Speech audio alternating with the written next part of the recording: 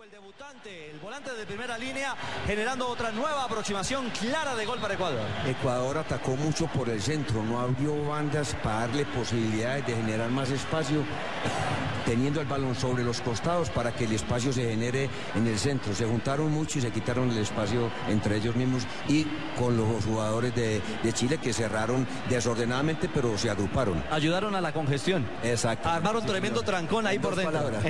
es cierto, termina golpeado Ener Valencia, viene el carrito, atienden a uno de los más laboriosos y por momentos conectamos. Uy, se va Ener Valencia con oxígeno. Será un tema preventivo.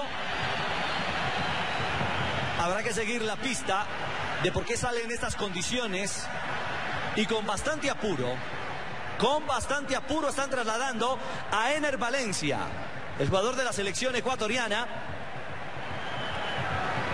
Ay, ay, ay. Ahí está la imagen de Ener Valencia. Relátelo, señor Martínez. Impresionante, ¿no? La gente de la camilla se apura, los policías detrás de la camilla.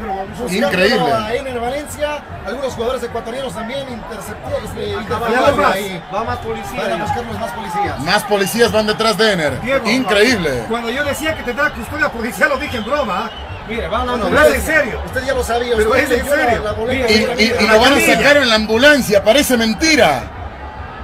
Sí, El partido pasó un segundo plano.